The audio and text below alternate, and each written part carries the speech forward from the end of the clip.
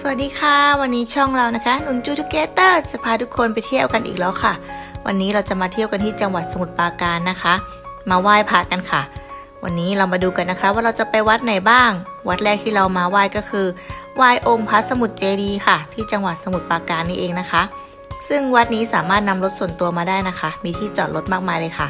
แล้วก็เราจะไปไหว้พระข้างในนะคะ เดี๋ยวเราจะเดินเข้าไปดูนะคะ วันนี้ก็คือบรรยากาศดีมากๆเลยค่ะ มีความเย็นนะคะ มีลมค่ะจากแม่น้ำนะคะ ก็คืออยู่ติดกับแม่น้ำเจ้าพยาปักอ่าวเลยค่ะ เดี๋ยวเราจะไปดูรอบๆกันนะคะ เดี๋ยวเราจะเข้าไปไหว้พระข้างในพระวิหารตรงนี้กันนะคะ นี่ค่ะให้ชมบรรยากาศรอบๆนะคะเดี๋ยวจะเข้าไปข้างในเลยค่ะ เหมือนวัดนี้เขากำลังปรับปรุงซ่อมแซมอยู่นะคะ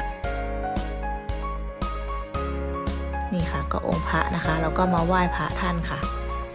เพื่อเป็นสิริมงคลของวันนี้นะคะ ซึ่งวัดนี้นะคะ ถูกสร้างตั้งแต่สมัยพุทธศักราช 2362 ค่ะ ในสมัยรัชกาลที่ 2 เลยนะคะ แล้วก็สร้างเสร็จในสมัยของรัชกาลที่ 3 ค่ะแต่เดิมค่ะสร้างอยู่เนี่ยเกาะกลางน้ำนะคะ แต่ว่าพอเวลาผ่านไปก็มีดินทับถมขึ้นมานะคะ ก็ทำให้กลายเป็นแผ่นดินแล้วก็เป็นแผ่นดินที่ติดกันกับฝั่งนะคะ ก็เลยไม่ได้อยู่กลางน้ำแล้วนะคะ นี่ค่ะบริเวณรอบๆ ก็กว้างขวางเงียบสงบมากๆเลยค่ะ เดี๋ยวเราจะพาไปดูรอบๆ บริเวณวัดนะคะไหว้พระแล้วก็จะเห็นว่ามีแบบสถาปัตยกรรมของจีนด้วยนะคะ แบบเป็นกล่งจีนรอบๆเนาะก็เป็นที่ถ่ายรูปที่นั่งพักผ่อนได้ค่ะ อันนี้เป็นองค์เจดีย์นะคะ ซึ่งสร้างสูงขึ้นในรัชกาลที่ 4 นะคะ แต่เดิมไม่ได้สูงขนาดนี้นะคะ ก็เราก็ไปอ่านประวัติมานะคะเขาบอกว่าในสมัยรัชกาลที่4ก็คือสร้างให้สูงขึ้นอย่างเงี้ยค่ะ นี่ค่ะ สวยมากๆเลยค่ะ คือตัดกับท้องฟ้าสีฟ้ามากๆเลย คือเจองค์เจดีย์ก็จะเป็นสีขาวนะคะ ซึ่งทุกปีอะค่ะ ที่นี่เขาก็จะมีงานเจดีย์ปากน้ำนะคะ ซึ่งวัดพระสมุทรเจดีย์เนี่ยค่ะ ก็จะอยู่ตรงข้ามกับสารกลางนะคะ ที่เมืองปากน้ำนะคะ ตอนที่มีงานนะคะเขาก็จะจัดแสดงทั้งสองฝั่งเลยค่ะ มีทั้งขายของการละเล่นการแสดงต่างๆ ทั้งสองฝั่งเลยนะคะ ประชาชนก็สามารถข้ามเรือไปมาหากันได้เลยค่ะนี่ก็เป็นบริเวณรอบๆนะคะ ซึ่งอยู่ตรงวัดเนี่ยก็จะมองไปอีกฝั่งน้ำก็จะเห็นหอชมเมืองอยู่นะคะ สูงๆนะคะที่เมืองปากน้ำเนี่ยค่ะ ตรงนู้นนะคะ หอชมเมือง ซึ่งเหมือนมันอยู่ตรงข้ามกันเลยค่ะ ถ้ามองจากฝั่งสารกลางก็จะมองเห็นอองค์พระสมุทรเจดีย์นะคะนี่ก็เป็นบริเวณรอบๆเดี๋ยวเราจะไปถ่ายข้างๆนะคะ ตรงข้างๆก็จะเป็นเดินออกไปมันจะเป็นเหมือนเป็นปากอ่าวอะค่ะ เป็นแม่น้ำเจ้าพยานะคะ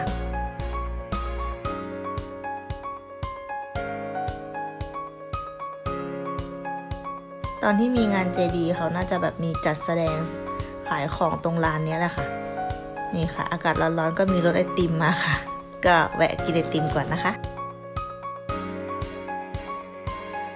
ราคาก็ไม่แพงค่ะ หวานเย็นชื่นใจมากเลยค่ะ เดี๋ยวเราจะนั่งกินไอติมสักแป๊บหนึ่งก่อนนะคะ แล้วก็จะถ่ายบรรยากาศมาให้ดูใหม่ค่ะ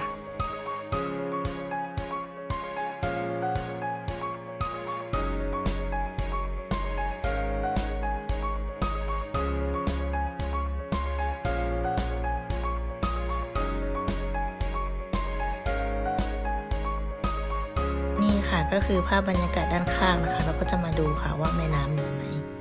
เนี่ยค่ะ ตรงข้ามก็จะเป็นหอชมเมืองค่ะ ตรงเมืองปากน้ำนะคะ ที่มีจัดนิทรรศการแล้วก็ไว้ชมวิวของเมืองปากน้ำเมืองสมุทรปราการได้ค่ะวันไหนว่างๆเพื่อนๆก็ไปเที่ยวได้นะคะ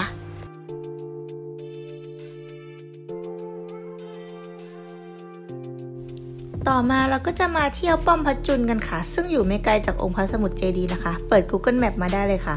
ขับมาตามนั้นได้เลยนะคะ ก็จะอยู่ในส่วนของพื้นที่ของทหารเรือนะคะ เดี๋ยวเราจะมาดูกันนะคะว่าในนี้มีอะไรบ้างนะคะ พื้นที่นี้ก็จะเรียกว่าอุทยานประวัติศาสตร์ทหารเรือนะคะ ก็จะมีอ่า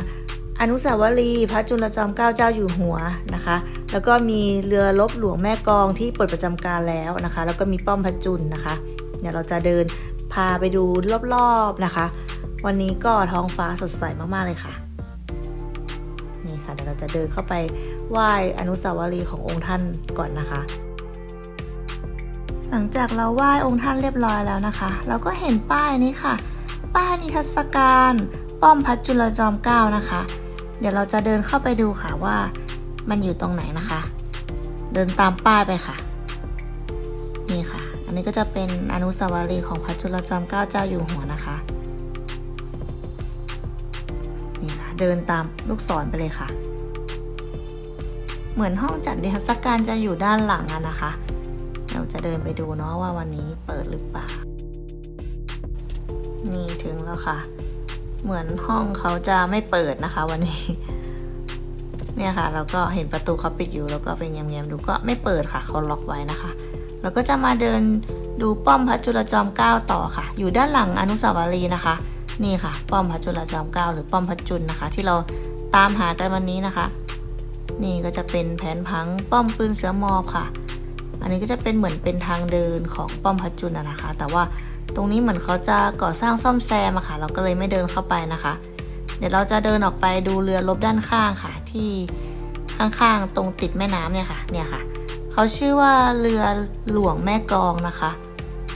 ซึ่งเป็นเรือรบที่เปิดประจำการแล้วนะคะ ก็เป็นเรือบกที่ตั้งไว้บนบกค่ะ เราจะไปเดินดูข้างในกันนะคะว่า มีอะไรน่าสนใจบ้าง นี่ค่ะ เขาก็จะมีป้ายบอกชัดเจนนะคะว่า เวลาเยี่ยมชมกี่โมงถึงกี่โมงนะคะ เนื่องจากมันเป็นเรือที่สูงจากพื้นดินนะคะ เขาก็จะให้ระมัดระวังเด็กนิดนึงนะคะ นี่ก็จะเป็นประวัติของเขาค่ะ เราก็มาหาอ่านได้ที่นี่นะคะ ก็ลมเย็นสบายค่ะ เพราะว่าอยู่ติดแม่น้ำเลยนะคะ อยู่ข้างๆปากอ่าวเนี่ยแหละค่ะ แต่ว่าแดดเมืองไทยก็จะร้อนนิดนึงนะคะ นี่ก็จะเป็นเรือรบสมัยก่อนค่ะ ที่ยังใช้สมัยก่อนนะคะ แต่ว่าตอนนี้เขาปลดประจำการแล้วค่ะ นี่ค่ะก็จะเป็นปากอ่าวแม่น้ำนะคะ แม่น้ำเจ้าพระยาออกสู่อ่าวไทยนะคะ ด้านข้างตรงนั้นก็จะเป็นร้านอาหารค่ะ เห็นคนเยอะมากเลย แต่ว่าเราไม่ได้ลองเข้าไปชิมนะคะ อันนี้เราจะมาเดินดูเรือรบก่อนนะคะ กว้างใหญ่มากๆเลยค่ะ คือแบบโอ้ใช้ชีวิตบนเรือทหารเรือนะคะ นี่ค่ะ ก็จะเป็นประวัติความเป็นมาของเรือหลวงแม่กองนะคะ ก็ขึ้นมาอ่านได้ค่ะ อันนี้ก็จะมีประมาณ 3-4 ชั้นนะคะมันสูงเหมือนกันค่ะ ถ้าเราเดินขึ้นบันไดขึ้นไปขึ้นบนเรื่อยๆอะค่ะ อันนี้เราก็ดูห้องตรงนี้ก่อนนะคะ ก็จะเหมือนเป็นห้องครัวห้องอะไรอย่างเงี้ยค่ะ เนี่ยค่ะ มีหม้อหุงข้าวใหญ่เบลือเลยค่ะ ก็เห็นมีคนปีนบันไดขึ้นไปดูนะคะแล้วเราจะเดินดูชั้นล่างก่อนค่ะ อันนี้ก็เป็นห้องซักล้างนะคะ มีเครื่องซักผ้าด้วย คนก็เยอะประมาณนึงค่ะ ไม่เยอะมากนะคะ บนเรือนี้เราก็จะเก็บภาพบรรยากาศไปให้เพื่อนๆดูนะคะ เผื่อว่าเออจะมีใครสนใจมาเที่ยวที่นี่นะคะ ไม่มีค่าใช้จ่ายนะคะ เข้ามาก็ฟรีค่ะดูฟรีนะคะ ชมฟรี เผื่อจะมีเด็กๆหรือว่าผู้ใหญ่อะไรเงี้ยค่ะ อยากมาชมมาดูก็มาดูได้นะคะ ไม่มีค่าใช้จ่ายค่ะที่นี่ เดี๋ยวจะเก็บภาพรอบๆมาให้เพื่อนๆดูนะคะ เราก็นั่งเล่นตามภาษาของเราค่ะ แข็งมากค่ะ หมุนไม่ได้ เดี๋ยวก็จะพาขึ้นไปดูชั้นบนด้วยนะคะ แต่ว่าเราไม่ค่อยกล้าขึ้นค่ะ เดี๋ยวจะให้คุณผู้ชายขึ้นไปดูให้นะคะ ชั้นที่มันสูงๆอะค่ะ เราก็ขึ้นไปได้แค่อีกชั้นเดียวนะคะ ก็กลัวแล้วค่ะ มันสูงมากๆเลยค่ะสำหรับเรา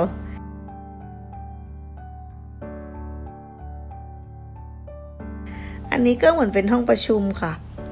อาดใหม่เอี่ยมมากเลยค่ะ ก็คือยังรู้สึกว่ามันดูดีมากเลยนะคะ ถ้าเกิดแบบเป็นห้องบัญชาการที่อยู่ในเรือแล้วก็อยู่กลางทะเลอย่างเงี้ยค่ะ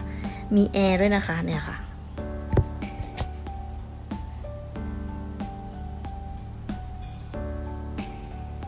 นี่เดี๋ยวเราก็จะขึ้นไปอีกชั้นเดียวค่ะ เพราะว่าหลังจากนั้นเราก็ไม่ขึ้นแล้วค่ะ จะให้คุณผู้ชายขึ้นไปถ่ายมาให้ดูนะคะ ก็มีนักท่องเที่ยวมาเหมือนกันค่ะ ก็เป็นแบบแบบเหมือนเป็นชาวจีนอะไรเงี้ยค่ะ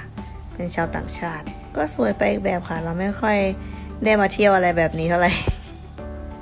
วันนี้ก็ไม่ไกลจากบ้านเราเท่าไหร่ค่ะ ก็เราก็เลยมาเที่ยวชมนะคะ อันนี้ก็เป็นเหมือนห้องห้องเครื่องห้องอะไรของเขาอะค่ะันนี้เราให้คุณผู้ชายขึ้นไปถ่ายมาให้ค่ะ เรากลัวความสูงขึ้นไปข้างบนแล้วรู้สึกว่าแอบน่ากลัวนิดนึงค่ะ มันต้องปีนบันไดขึ้นมานะคะ ถ้าใครมีเด็กๆมาด้วยก็ต้องดูแลกันนิดนึงนะคะ สวยงามมากท้องฟ้า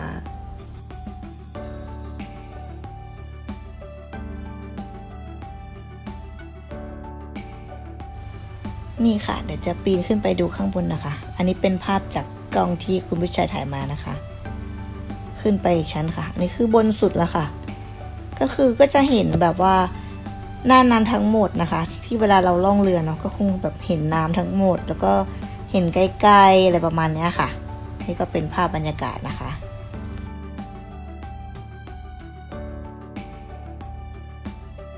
นี่ค่ะเดี๋ยวเราจะเดินมาถ่ายรูปกับชื่อของเรือนิดนึงนะคะ เป็นพยานนิดนึงค่ะว่าเรามาถึงแล้วนะคะ นี่เรือหลวงแม่กองค่ะ ยิ่งใหญ่อลังการมาก สวยงามสะอาดสะอ้านค่ะ และหลังจากที่เราออกมาจากตรงป้อมพระจุลจอมเกล้าแล้วนะคะ เราก็จะมาต่อกันที่วัดขุนสมุทรจีนค่ะ หรือวัดขุนสมุทรทาวานะคะ ซึ่งก็อยู่ไม่ไกลกันเลยค่ะ คือ 3 ที่นี้ก็จะอยู่ละแวกเดียวกันหมดเลยนะคะ ซึ่งตอนนี้เขาก็มีการแจ้งว่ารถสามารถไปถึงแล้วนะคะ ตรงทางเข้าหน้าวัดเลยค่ะ นี่ค่ะ แล้วก็รถมาจอดตรงทางเข้าวัดก่อนนะคะ ซึ่งมีลานดินตรงนี้ค่ะ แล้วก็เดินเข้าไปในวัดนะคะ หรือถ้าเกิดใครไม่อยากเดินนะคะ เขาก็มีบริการรถตุกๆของทางวัดนะคะ เสียค่าบริการไปไป 10 บาทกับ 10 บาทประมาณนี้ค่ะ ที่เราเห็นป้ายเมื่อกี้นะคะ ตรงป้อมอะค่ะ ถ้าเกิดเราไม่อยากนั่งรถตุกๆไปแล้วก็เดินเข้าไปค่ะ ระยะทางก็ประมาณสัก 1 กิโลค่ะ เป็นทางเป็นทางเดินแบบเนี้ยค่ะ ข้างทางก็จะมีแบบเออคนขายของขายน้ำอะไรเงี้ยค่ะ ดี๋ยวเราจะเดินเข้าไปดูข้างในนะคะ ข้างทางก็จะเป็นเหมือนเป็นสะพานเล็ก ๆ เชื่อมระหว่างพื้นดินกับวัดนะคะ ก็จะเป็นแบบว่าเป็นป่ากงกลาง แล้วก็เป็นชมบรรยากาศของอ่าพื้นทะเลก่อนถึงวัดอะคะ่ะนี่ค่ะก็จะมีป้ายโฆษณานิดนึงนะคะ ว่าตรงนี้มีอะไรบ้าง เขาก็จะมีบริการโฮมสเตย์หรือว่านันนี่โน่อะไรเงี้ยค่ะ ของเป็นธุรกิจชุมชนของเขาอะนะคะ นี่ค่ะก็จะเป็นแบบภาพบรรยากาศตรงทางเดินจากผืนดินไปวัดนะคะระยะทางประมาณสักน่าจะหนึ่งกิโลได้ค่ะ ประมาณกิโลหนึ่งได้ ก็เดินไกลอยู่ค่ะ แต่ถ้าใครไม่อยากเดินก็มีบริการรถตุ๊กๆของทางวัดเขาบริการอยู่นะคะ สามารถใช้บริการได้ค่ะ นี่ค่ะ แล้วก็เดินชมข้างทางไปเรื่อยๆค่ะ แล้วก็เข้ามาถึงในตัววัดแล้วนะคะ เดี๋ยวเราจะทำบุญถวายสังฆทานกันก่อนค่ะ พอดีว่าเดือนนี้เป็นเดือนเกิดของเรานะคะ แล้วก็ตั้งใจมาทำบุญนั่นแหละค่ะ เดี๋ยวเราทำบุญก่อนนะคะ ไหว้พระรับน้ำมนต์แล้วเราเดี๋ยวจะไปไหว้พระด้านในกันนะคะ นี่ค่ะ ขออย่าตทำบุญแป๊บหนึ่งนะคะเพื่อนๆหลังจากที่เราทำบุญถวายสังฆทานด้านนอกเสร็จแล้วนะคะ เดี๋ยวเราจะเดินเข้ามาข้างในกันค่ะ ก็ภายในวัดก็กว้างขวางดีค่ะ เขาก็พยายามจะยกพื้นสูงขึ้นจากระดับน้ำนะคะ จากพื้นดินเนาะเพื่อป้องกันน้ำท่วมนะคะ เพราะว่าตรงนี้คือติดติดทะเลเลยค่ะ คือติดเหมือนเป็นแม่น้ำเป็นทะเลเลยค่ะ เดี๋ยวเราจะพาไปดูรอบๆนะคะ อันนี้ก็จะเป็นพระอุโบสถหลังเก่านะคะ ที่มีพระอยู่ด้านในนะคะ นี่เป็นจุดไฮไลท์ของวัดนี้แหละค่ะ แล้วก็อันนี้เราจะไหว้พระจุดธูปจุดเทียนแล้วก็บูชาดอกไม้กันด้านนอกนะคะ แล้วก็จะเอาทองไปปิดผาด้านในค่ะ นี่ค่ะทำบุญวัดนี้ก็ตามกำลังศรัทธานะคะ เขาไม่ได้บังคับว่าเท่าไหร่เท่าไหร่ค่ะแล้วก็จะไหว้พระกันก่อนด้านนอกนะคะ หลังจากที่เราไหว้พระแล้วนะคะ นี่ค่ะ เข้าไปก็ต้องมุดเข้าไปนิดนึงนะคะ เพราะว่าเขาก็เหมือนทำพื้นยกสูงขึ้นมาให้สูงขึ้นมาอีกหน่อยนึงอะค่ะ น่าจะป้องกันน้ำท่วมอะไรอย่างเงี้ยค่ะ แต่ว่าพระอุโบสถไม่น่าจะยกขึ้นมาได้แล้วเนาะดูจากภาพ นี่ก็เป็นหลวงพ่อลุ่งสมุทรศักดิ์สิทธิ์นะคะ หลังจากที่เราจุดทูบจุดเทียนด้านนอก แล้วก็ทองมามาแปะพระด้านในนะคะ นี่ค่ะก็เป็นเหมือนร่องรอย เหมือนเขาน่าจะกำลังบูรณะอยู่หรือเปล่าไม่แน่ใจนะคะเนี่ยค่ะเป็นร่องรอยเหมือนเป็นคราบน้ำอะไรเงี้ยค่ะ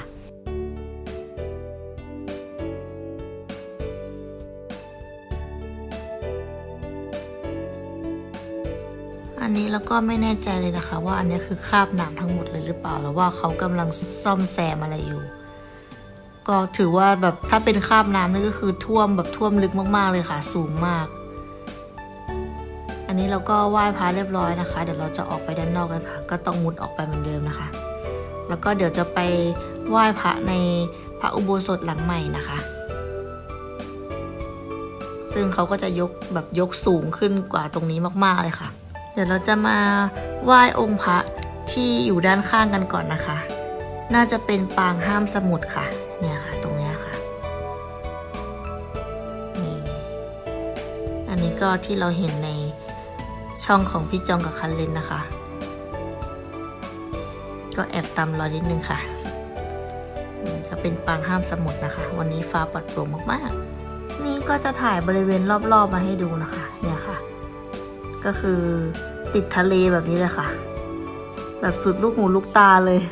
แล้วเขาก็ว่าก่อนนั้นตรงแถวๆนี้ก็จะเป็นแบบแผ่นดินอะไรเงี้ยค่ะ น้ำมันก็สอเข้ามาเนาะเขาก็พยายามแบบเอาเสาเอาปูนมากั้นไว้อย่างเงี้ยค่ะ ก็น้ำก็สอเข้ามาเรื่อยๆนะคะนี่ค่ะ อันนี้ก็มาตรงบริเวณพระอุโบสถหลังใหม่นะคะ ก็คือยกขึ้นสูงจากพื้นมากๆเลยค่ะ ก็คือต้องแบบเดินขึ้นมานะคะ สูงชันประมาณนึง ก็มาไหว้องค์พระด้านในกันนะคะนี่อันนี้ก็จะเป็นองค์พระพุทธชินราชนะคะ แล้วก็ไหว้พระนะคะ ขอพรให้เรียบร้อย ด้านข้างฝาผนังก็จะเป็นไม้นะคะ เหมือนหน้าตรงหน้าต่างแล้วก็เป็นไม้หมดเลยค่ะ เขาก็พยายามแกะสลักให้เป็นรูปพระต่างๆนะคะพุทธประวัติอะไรเงี้ยค่ะ ก็คือสวยงามไปอีกแบบหนึ่งเลยค่ะ อันนี้หลังจากที่เราไหว้พระแล้วนะคะเราก็จะเดินออกมาด้านนอกกันค่ะ มาถ่ายรูปสองสามแชะของเราอะนะคะแล้วเดี๋ยวเราก็จะออกไปจากตรงนี้กันค่ะ นี่ค่ะก็คือแบบเหมือนเป็นแกะสลักเป็นไม้ค่ะแบบพระโบสถหลังนี้ก็คือสวยงามมากเลยค่ะ เป็นไม้หมดเลย ท้องฟ้าก็คือสดใสมากปลอดโปร่งสุดๆหลังจากที่ทำภารกิจไหว้พระขอพรแล้วนะคะ เราก็จะมาทานอาหารกันค่ะ ที่ครัวโพทะเลนะคะ ก็ใกล้ๆนั่นแหละค่ะ ก็คือขับออกมานะคะ เข้ามาจะทางกลับบ้านนะคะ ก็มาเจอร้านนี้จริง ๆ ร้านอาหารมีเยอะมากเลยค่ะ แต่ว่าเราเลือกร้านนี้เพราะว่าเห็นว่ามีที่จอดรถนะคะ เดี๋ยวเราจะสั่งอาหารมาให้เพื่อนๆดูนะคะ ว่าเรากินอะไรบ้างวันนี้ทริปนี้ก็คือเป็นทริปไหว้พระทำบุญค่ะ ในโซนของเมืองสมุทรปราการนะคะ ก็เดี๋ยวมาดูกันค่ะว่าวันนี้เรากินอะไรบ้าง ที่ครัวโพทะเลซีฟู้ดค่ะ หลังจากตะลอนตะลอนมาทั้งวันก็มากินน้ำให้หายร้อนก่อนค่ะ คือพอเที่ยวทั้งวันมันก็ร้อนอยู่นะคะ นี่ค่ะ อาหารเราก็มาแล้วค่ะ ก็เป็นเนื้อปูผัดผงกะหรี่นะคะ แกงส้มชะอมกุ้ง แล้วก็กุ้งผัดไข่เค็มค่ะ เดี๋ยวเราจะลองชิมให้เพื่อนๆดูนะคะ ถ้าใครแวะมาทางนี้ก็มาทานได้นะคะ รู้สึกว่าอาหารรสชาติอร่อยดีค่ะ แล้วก็ราคาไม่ได้ไม่ได้สูงมากนะคะ ทานได้อร่อยดีค่ะ ขอเวลาทานข้าวสักครู่นะคะ รู้สึกว่าเป็นมื้อที่อร่อยมากเลยค่ะ อิ่มอกอิ่มใจอิ่มบุญนะคะวันนี้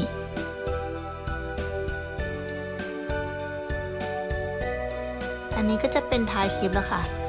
สั่งส้มตำทอดมาอีกอย่างหนึ่งนะคะ อร่อยดีค่ะ หวังว่าคลิปนี้จะมีประโยชน์กับเพื่อนๆนะคะ บ๊ายบายค่ะ สวัสดีค่ะ